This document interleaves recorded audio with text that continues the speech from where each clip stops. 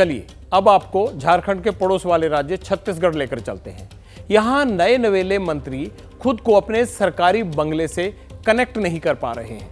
बंगले में गृह प्रवेश से डर रहे हैं। मंत्रियों को डर क्यों सता रहा है? मंत्री बंगले में क्यों जाना नहीं चाहते? क्या छत्तीसगढ़ के मंत्री अंधविश्वासी हो गए हैं? बंगला नंबर बी पाँच बटे पाँच, जेल रोड रायपुर। बंगला नंबर बी, पाँच बटे दस शंकर नगर और बंगला नंबर डी सात, डी आठ शंकर नगर ये तीनों बंगले अच्छे, खासे एरिया में बने हुए हैं। सड़कें भी चौड़ी हैं, पौश इलाका है, लेकिन छत्तीसगढ़ की नई सरकार के नए नवेले मंत्री इन बंगलों में गृह प्रवेश नहीं करना चाहते। आनाकानी कर रहे हैं, कारण सुनेंगे तो आप माथा पकड़ लेंगे। रायपुर के शंकर नगर का बी पाँच बटे दस कांग्रेस सरकार में मंत्री रहे मोहम्मद अकबर को ये बंगला अब खाली करना पड़ेगा। चुनाव हार गए हैं। ये बंगला अब नए मंत्री बने। टंकराम को अलॉट हो गया है। लेकिन टंकराम बंगले को अशुभ मान रहे हैं। टेंशन में है। गृह प्रवेश करने पर अड़ गए हैं। इस बंगले में रहकर पूर्व कृषि मंत्री चंद्रशेखर साहू और राम सेवक पैकरा ने भी चुनाव हारा है। टंकराम वर्मा फूंक फूंक कर कदम रख रहे हैं। पूजा पाठ कराने का विचार भी मन में चल रहा है। डर है, बंगले में रहे तो कहीं चुनाव ना हार जाएँ। पूजा पाठ और टोटके का विचार तो रायपुर के डी सेवन, डी एट बंगले में भी चल रहा है। लक्ष्मी रजवाड़े ने हाल ही में मंत्री पद की शपथ ली। अभी जश्न ही चल रहा था कि सरकारी बंगले के अलॉटमेंट ने टेंशन बढ़ा दिया। लक्ष्मी सोच रही हैं कि बंगले में प्रवेश करें या ना करें क्योंकि यहाँ रहने वाले पूर्व मंत्री प्रेम साय टेकाम पूर्व वन मंत्री महेश गगड़ा चुनाव हार गए। अगर जो भी बंगला रहेगा और प्रवेश करने से पहले नई ज़िम्मेदारी के साथ उसको पूजा पाठ के साथ हम वहाँ प्रवेश करेंगे। और वहाँ अगर कोई वास्तु दोष है तो उसे भी ठीक कराने की कोशिश करेंगे। जी बिल्कुल। कैरियर रहे। कहना वही रहता है कि एक बार जहाँ से, जहाँ रहते हैं, वहाँ के विधायक हारते हैं तो शायद वहाँ वहाँ नहीं रहना चाहिए। ऐसे बोला जाता है, लेकिन मैं उस चीज़ को नहीं मानती हूँ। कांग्रेस सरकार में मंत्री रहे रुद्र गुरु का ये बंगला बीजेपी सरकार बनने के बाद नए मंत्री बने दयाल दास बघेल को अलॉट हुआ है। लेकिन मंत्री जी डर रहे हैं। उन्हें लगता है इस बंगले में प्रवेश किया तो अगला चुनाव हार जाएँगे। या मंत्री पद ना चला जाए।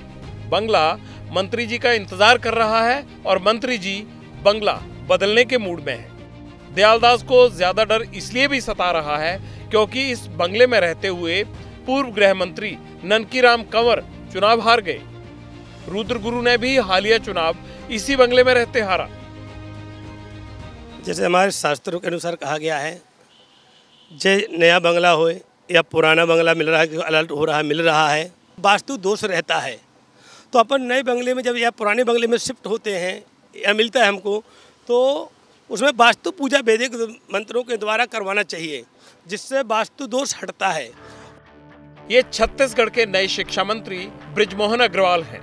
20 साल से राजनीति में हैं, चुनाव लड़ रहे हैं और हर बार जीत भी रहे हैं। बड़ी बात ये कि पिछले 20 साल से रायपुर में शंकर नगर के इसी बी पाँच बटे एक बंगले में रह रहे हैं। कहीं और शिफ्ट ही नहीं होते। ये सब चलते रहता है। ये खाली सरकारी थोड़ी है प्राइवेट निजी लोगों का भी होता है। तो निजी लोग भी घर बदलते हैं कि ये मेरे लिए शुभ नहीं है अशुभ है।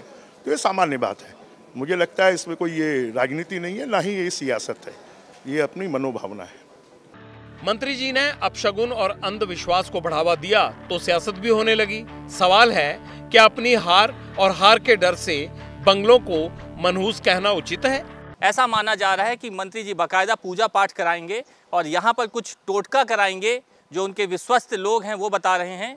उसके बाद इस बंगले में आएँगे। मतलब कुल मिलाकर राजधानी रायपुर में ऐसे जो बंगले हैं, उनमें आने के पहले जो है मंत्री जी कई बार सोचते हैं कि इस बंगले में जाएँ या ना जाएँ, क्योंकि उनका अगला कैरियर इस बंगले से जुड़ा होता है कि अगले चुनाव में मंत्री जी कहीं चुनाव हार ना जाएँ। बात है कि हारे हैं अलग विषय है, लेकिन इसकी पुनरावृत्ति हो जाए, ऐसा हो जाए, ऐसा कहीं लाजमी नहीं है। एक प्रकार का ये कहीं सुनी कयास वाली बात है। कर्म प्रधान में विश्वास रखते हैं अंधविश्वास पे कोई स्थान नहीं है। ये कोई डर और भय नहीं है ये हमारा आस्था है हम लोग सनातनी लोग हैं। उस आस्था के साथ में हम प्रवेश करेंगे इसको कोई डर के तौर पर नहीं देखा जाना चाहिए। किसी बंगला या किसी कार्यालय को मनहूस कहना या किसी कहानी से जोड़ना अनुचित है। किसी भी तरह से बंगले या किसी कार्यालय को दोष देना मैं समझता हूँ कि उचित नहीं। है छत्तीसगढ़ में सत्ता परिवर्तन हुआ तो बड़ी संख्या में नेता चुनाव हार गए। अब चुनाव हारे हैं तो बंगला भी खाली करना पड़ेगा। लेकिन क्या नए मंत्रियों को बंगले के नाम पर इस तरह अंधविश्वास फैलाना शोभा देता है? अगर आपको याद हो तो देहरादून के सीएम आवास को भी मनुष्य माना जाता था।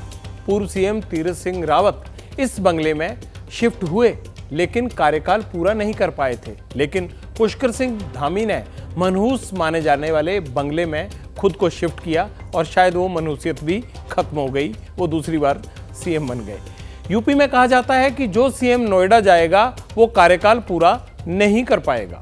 सीएम योगी ने इस भ्रम को तोड़ दिया। है ना कमाल की बातें राजनीति में भी। मंत्री जी, अब मुफ़्त में हमारी एक सलाह सुन लीजिए। ये मैं छत्तीसगढ़ वालों से कह रहा हूँ। ना पुराने मंत्री हारते ना ये बंगले खाली होते, ना आपकी सरकार बनती और ना आपको नई अलॉटमेंट की चिट्ठी आती। तो आपको तो इन बंगलों को और और भी शुभ मानना चाहिए, शुक्रगुजार होना चाहिए आपको, क्योंकि आपको इनमें रहने का मौका मिल रहा है और पिछले मंत्रियों ने जनता की उम्मीदों पर खरे उतरने का काम नहीं किया। इसीलिए ये बंगले खाली होकर आपके हिस्से में आए हैं। अब आप बंगलों पर नहीं, अपने कामों पर गौर कीजिए।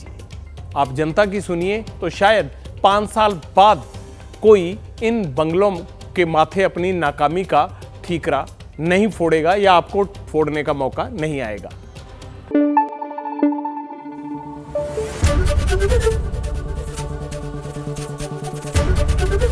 एबीपी न्यूज़ आपको रखे आगे।